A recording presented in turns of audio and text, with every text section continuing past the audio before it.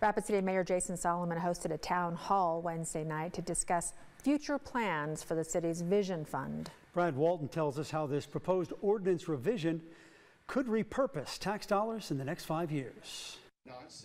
Rapid City's Vision Fund, generated by sales tax revenue, has a long and complicated history. The Vision Fund was created initially after the 1972 flood, and it was a penny tax to um, construct the Civic Center. The Vision Fund has seen many revisions over time, and Mayor Jason Salamun presented his latest proposals at a town hall meeting Wednesday night, focusing on four divisions of fund allocations. community projects, economic development, the comprehensive plan projects, and a strategic growth revolving fund.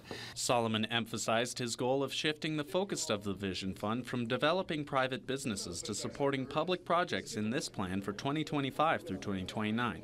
Much of Wednesday's discussion focused on road maintenance, and some attendees disagreed with prioritizing this issue. People are always complaining about potholes and this and that. Roads never brought anybody here, roads never kept anybody here, and roads never have made anybody move away from here. However, Salamun said he has also heard positive feedback regarding the proposed revisions. A lot of folks in the community are like, well, yeah, we should do things that make our community better, invest in our, our parks and our uh, quality of life here and, and in projects that will, you know, enhance this community.